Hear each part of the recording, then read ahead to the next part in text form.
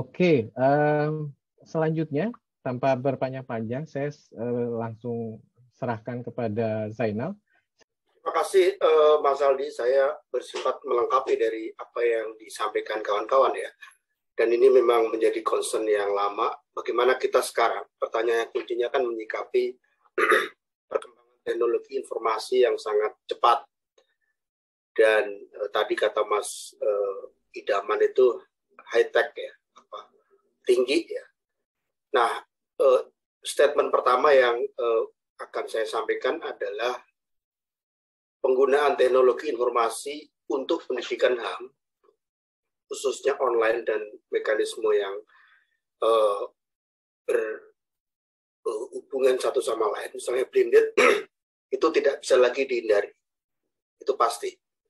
Karena sekarang ini transfer dan pengetahuan itu bukan lagi seperti dulu yang didominasi misalnya buku dan sebagainya, tetapi semua sekarang ini masuk ke era uh, digital yang informasinya itu menyebar ke dalam uh, berbagai macam bentuk.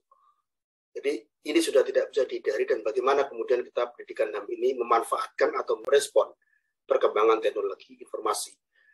Yang kedua, uh, kita kembali melihat konsepsi pendidikan dan asasi manusia. Nah, kalau kita melihat konsepsi makna pendidikan dan asasi manusia, eh, saya kira dia juga inline dengan berbagai macam informasi yang tersebar di berbagai macam platform eh, media, misalnya yang digital ya, termasuk media sosial, sehingga ada ada memang eh, kemudian match ya antara model informasi yang sekarang kita hadapi sehari-hari dengan kebutuhan untuk memperluas pendidikan asasi manusia. Karena pendidikan asasi manusia sudah banyak diidentifikasikan bukan hanya di ruang kelas, bukan hanya di uh, apa ruang-ruang uh, yang di skema sebagai pendidikan, tetapi juga di banyak sektor. Tadi Mas Idaman menyinggung soal TikTok TikTok ini juga saya sekarang mencermati sebagai satu platform yang untuk advokasi HAM itu karena apa? Jangkauannya sangat utamanya untuk anak muda misalnya. Itu yang itu yang kedua. Ini kita juga telah memahami bagaimana kemudian agenda pendidikan HAM ini juga menjadi agenda-agenda global yang tentunya kalau kemarin kita eh, mendengarkan eh, kuliah umum dari saudara eh, Dr. Fauzi Rahman uh, ini juga harus kita refleksikan kembali dalam konteks kita karena uh, pendidikan HAM dalam konteks Indonesia lokal dan sebagainya itu kemudian bagaimana dia harus uh, membumi ya. Jadi tidak semata-mata kritik terbesar kemarin adalah apakah pendidikan HAM uh, kemudian hanya ngikutin agenda donor atau kemudian hanya uh, mengikuti proyek-proyek yang ada sehingga memang dia tidak mampu membangun apa yang disebut sebagai satu pendidikan HAM sebagai satu gerakan uh, uh, sosial atau mendukung gerakan sosial yang lebih luas. Memang kemudian uh, teknologi, utamanya misalnya perkembangan internet dan sebagainya itu tadi juga telah disampaikan oleh Mas Idaman itu dia menyediakan uh, dan proses menyampaikan informasi uh, termasuk terkait dengan pendidikan dan transfer dari pengetahuan bagi semua orang dan kemudian perkembangan teknologi informasi dan komunikasi ini memang secara radikal saya mengatakan dia mengubah ya keseimbangan antara ketersediaan informasi dan kapasitas manusia dalam memprosesnya. Kita setiap hari ini dibanjiri dengan banyak sekali informasi, tetapi kita juga sering kali gagap dalam memproses. Makanya kemudian eh, dalam banyak isu eh, fake news, hoax dan sebagainya itu kemudian membanjiri diri kita uh, dengan informasi.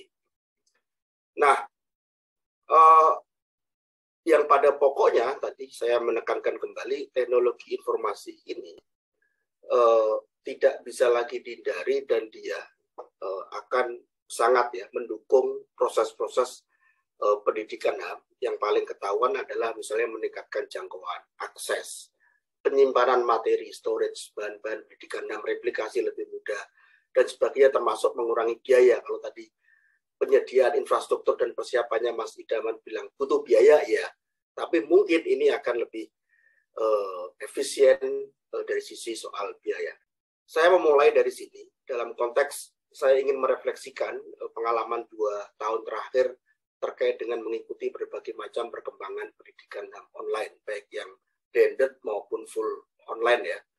Di sini juga ada kawan-kawan yang mengembangkan, ada lihat saya lihat ada Pak Anggaran dan sebagainya juga nanti mungkin bisa share ke kita. Uh, uh, pendidikan yang online ini bukan benar-benar baru misalnya, tetapi memang sudah banyak difikirkan dan dikembangkan oleh berbagai macam organisasi masyarakat sipil, uh, termasuk uh, uh, di sekti organisasi masyarakat sipil internasional yang yang uh, sudah lebih advance dalam konteks mengembangkan pendidikan online, utamanya yang full mandiri, misalnya Amnesty Academy ataupun uh, Swiss Peace ya, itu yang uh, itu yang uh, uh, misalnya Uh, tapi kesamaan dari masing-masing itu adalah adanya uh, penyediaan pelatihan yang dia menjadi global dengan akses yang lebih luas. Kita dengan mudah bisa mengikuti berbagai macam pendidikan HAM tematik. Apa yang kita pilih tanpa kayak kalau dulu menunggu oh Elsa mengadakan saya nunggu setahun ini. Oh saya menunggu misalnya organisasi yang lain. Uh, uh, untuk adanya pelatihan. Dengan teknologi informasi ini sekarang setiap saat, setiap waktu, kapan pun Anda bisa, kita semua bisa belajar uh, asasi manusia. Nah, memang kemudian uh, apa yang kita uh, lihat uh, terkait dengan uh, berbagai macam peluang dan tantangan terkait pendidikan HAM uh, online itu uh, satu uh, saya mau menekankan kembali bahwa teknologi ini menjadi uh, peluang dan kemudian bagaimana kita uh, memanfaatkan penetrasi pengguna internet, pengguna gadget di Indonesia semakin uh, tinggi, tetapi juga ada beberapa catatan uh, bahwa teknologi ini sendiri juga membawa uh, akses ketidaksetaraan uh, dalam masyarakat, misalnya terkait dengan uh, akses uh, terhadap teknologi itu sendiri atau misalnya yang paling basic adalah akses uh, terkait dengan uh, internet. Yang kedua adalah situasi sekarang pandemi itu di sesi-sesi selanjutnya juga dan tadi di panel uh, satu uh, Afifa juga telah menjelaskan pandemi ini memaksa kemudian shifting dari yang semula online uh, kemudian menjadi elemen-elemen online-nya menjadi uh, harus dilakukan. Nah, kalau kita merefleksikan ada banyak ya sekarang beberapa apa beberapa eh, NGO bukan hanya NGO, komunitas, institusi pendidikan, lembaga HAM, institusi peradilan dan sebagainya itu yang kemudian juga mengembangkan uh, platform pendidikan hak asasi manusia secara uh, online. Uh, apa ada ICCR Learning Hub yang mengembangkan pendidikan hukum dan juga pendidikan HAM secara uh, online. Mahkamah Agung juga punya uh, e-learning untuk pendidikan para hakim.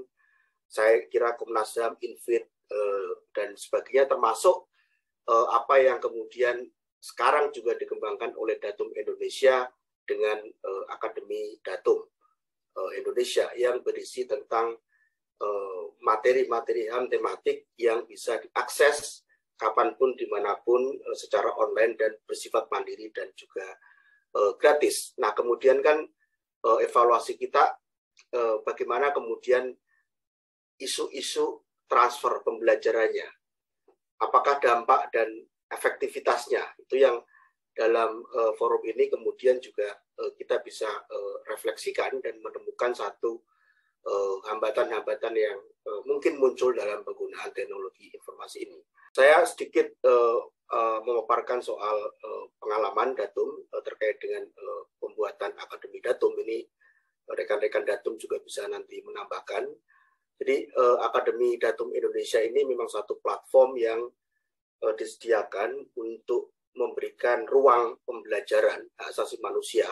Beberapa temanya itu memang uh, hak asasi manusia uh, dasar yang uh, bisa diakses di mana pun, kapan pun, oleh siapa pun yang sifatnya full apa mandiri ya dan juga ini harapannya ke depan dia bisa memperluas tema-tema termasuk isu soal refugi dan soal tema-tema yang lain sehingga ini juga bertujuan untuk memperluas akses atas pendidikan dan si manusia kepada semua via. Terakhir, pendidikan HAM online yang utamanya secara mandiri itu memang masih ada sejumlah tantangan. Dia sangat cocok misalnya untuk mengembangkan pengetahuan, tapi masih ada problem, misalnya terkait dengan skill. Ini juga di apa di address oleh beberapa panelis di sesi sebelumnya bahwa untuk skill ini memang ada pendekatan khusus dan harus dia di merge atau dia di uh, dikombinasikan dengan uh, full yang online atau uh, yang mandiri ya. Yang isu yang lain adalah soal uh, bagaimana uh, memastikan uh, uh, proses pendidikan HAM yang partisipatif karena pendidikan yang HAM yang partisipatif ini memang banyak menjadi rekomendasi. Utamanya misalnya sesi sebelumnya ada di baik apakah di perguruan tinggi, di sektor-sektor tertentu, kemarin di panel 3 juga pendidikan yang partisipatif ini menjadi uh, elemen uh, yang penting. Ada beberapa overview kalau saya uh, merefleksikan ya bahwa uh, pendidikan online ini dia uh, ada kekuatannya, tapi juga dia ada kelemahannya. Nah, ini yang harus kemudian kita diskusikan dan kita uh, refleksikan bagaimana cara mengatasi itu, uh, termasuk ada beberapa isu ancaman tadi juga diadres oleh uh, Mas Idaman soal isu privacy dan juga apa keamanan dari penyelenggaraan pendidikan yang sifatnya online. Nah, tentunya overview ini belum apa apa belum cukup uh, mendalam dalam artian uh, tadi misalnya Mbak Wiji me, apa me, meminta masukan misalnya untuk perlindungan refugi karena di tingkat advance juga misalnya penggunaan teknologi blockchain itu juga digunakan untuk misalnya membantu para pengungsi dalam konteks mengakses uh, hak mereka di negara tempat mereka mengungsi akan atau merespon perkembangan teknologi informasi. Uh, next slide. Ini slide-nya goyang-goyang. Yang kedua, uh, kita kembali melihat konsepsi pendidikan dan asasi manusia. Nah, kalau kita melihat konsepsi makna pendidikan dan asasi manusia, uh, saya kira dia juga inline dengan berbagai macam informasi yang tersebar di berbagai macam platform uh, media, misalnya yang digital ya, termasuk media sosial, sehingga ada ada memang uh, kemudian match ya antara model informasi yang sekarang kita hadapi sehari-hari dengan kebutuhan untuk memperluas pendidikan manusia sudah banyak diidentifikasikan bukan hanya di ruang kelas, bukan hanya di uh, apa ruang-ruang uh, yang di skema seperti pendidikan, tapi juga di banyak sektor. Tadi Mas Idaman menyinggung soal TikTok. TikTok ini juga saya sekarang mencermati sebagai satu platform yang untuk advokasi HAM itu karena apa? Jangkauannya sangat utamanya untuk anak muda misalnya. Itu yang itu yang kedua. Nah, saya kira slide selanjutnya slide uh, selanjutnya sampai dengan slide uh, uh, dua lagi, ini kita juga telah memahami bagaimana kemudian agenda pendidikan 6 ini juga menjadi agenda-agenda global. Yang tentunya kalau kemarin kita uh, mendengarkan uh, kuliah umum dari saudara uh, Dr. Fauzi Rahman, uh, ini juga harus kita refleksikan kembali dalam konteks kita karena uh, pendidikan HAM dalam konteks Indonesia lokal dan sebagainya itu kemudian bagaimana dia harus uh, uh, membumi ya jadi tidak semata-mata kritik terbesar kemarin adalah apakah pendidikan HAM uh, kemudian hanya ngikutin agenda donor atau kemudian hanya uh, mengikuti proyek-proyek yang ada sehingga memang dia tidak mampu membangun apa yang disebut sebagai satu pendidikan HAM sebagai satu gerakan uh, uh, sosial atau mendukung gerakan sosial yang lebih luas. Next slide. Uh, next slide.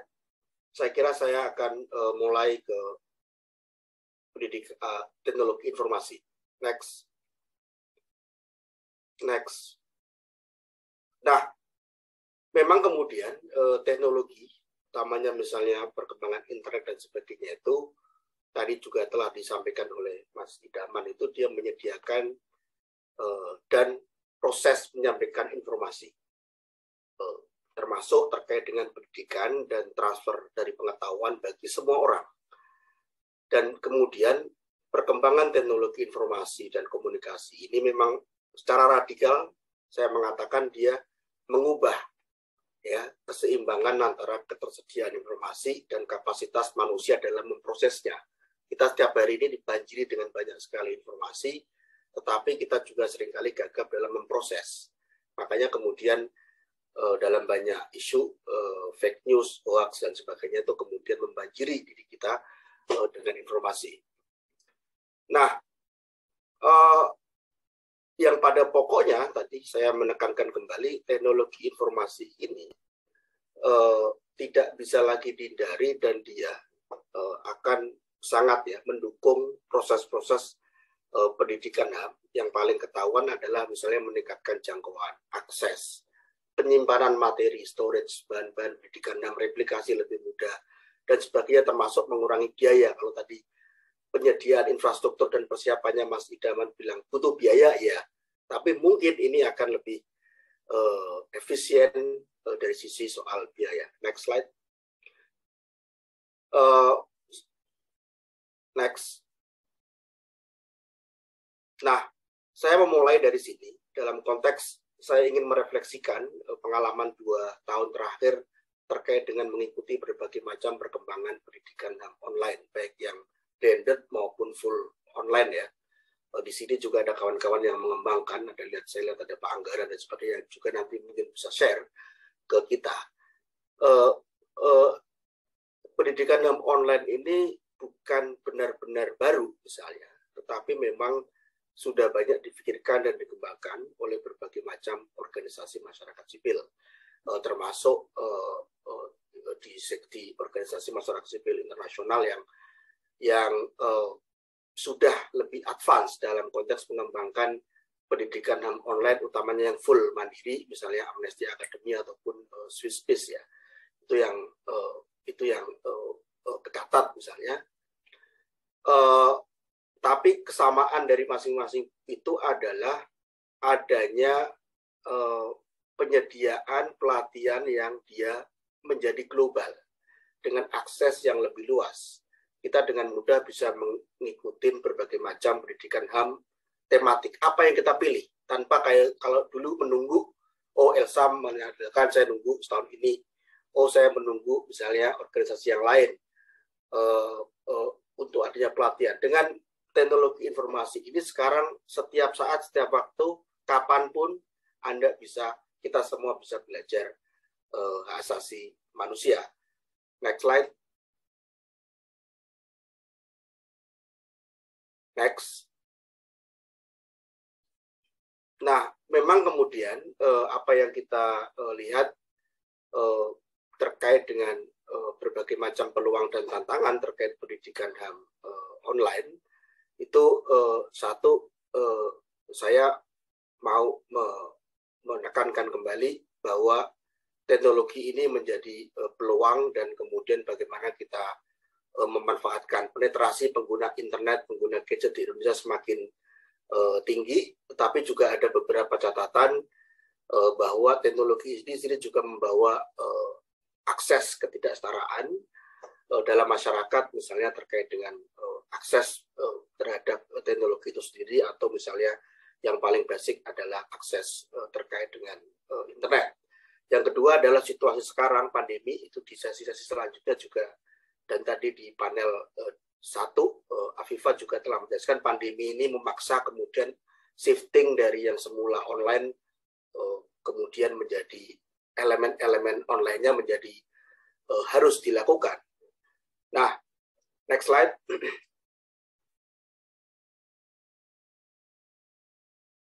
Next. Nah, kalau kita merefleksikan ada banyak ya sekarang uh, beberapa uh, apa beberapa uh, eh, NGO bukan hanya NGO, komunitas, institusi pendidikan, lembaga HAM, institusi peradilan dan sebagainya itu yang kemudian juga mengembangkan uh, platform pendidikan hak asasi manusia secara uh, online. Uh, apa ada ICCR Learning Hub yang mengembangkan pendidikan hukum dan juga pendidikan HAM secara uh, online. Mahkamah Agung juga punya uh, e-learning untuk pendidikan para hakim. Saya kira Komnas HAM, Infit, uh, dan sebagainya termasuk uh, apa yang kemudian sekarang juga dikembangkan oleh Datum Indonesia dengan uh, Akademi Datum uh, Indonesia yang berisi tentang materi-materi uh, HAM tematik yang bisa diakses kapan pun, di mana pun, uh, secara online dan bersifat mandiri dan juga uh, gratis. Nah, kemudian kan uh, evaluasi kita uh, bagaimana kemudian isu-isu transfer pembelajarannya. Apakah dampak dan efektivitasnya itu yang dalam uh, forum ini kemudian juga uh, kita bisa uh, refleksikan dan menemukan satu hambatan-hambatan yang mungkin muncul dalam penggunaan teknologi informasi ini. Next slide. Saya sedikit uh, uh, memaparkan soal uh, pengalaman Datum uh, terkait dengan uh, pembuatan Akademi Datum ini. Rekan-rekan Datum juga bisa nanti menambahkan.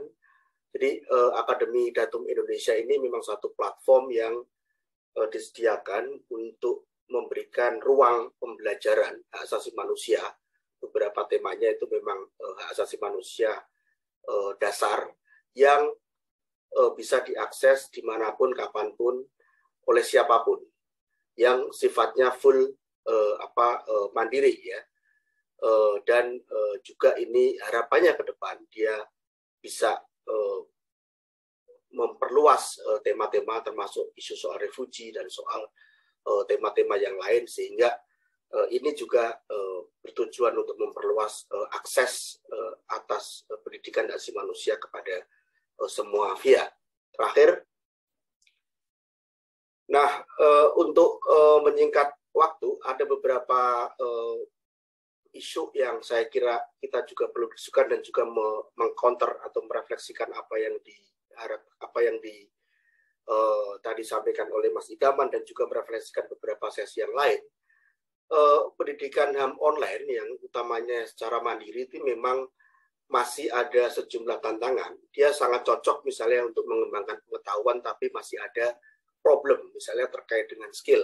Ini juga uh, di apa di address oleh beberapa panelis di sesi sebelumnya bahwa untuk skill ini memang ada pendekatan khusus dan harus dia di merge atau dia di uh, dikombinasikan dengan uh, full yang online atau yang mandiri ya. Yang isu yang lain adalah soal bagaimana uh, memastikan uh, proses pendidikan yang partisipatif karena pendidikan yang HAM yang partisipatif ini memang banyak menjadi rekomendasi.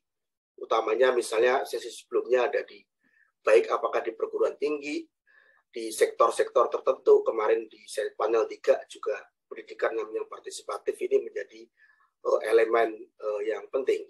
Next slide.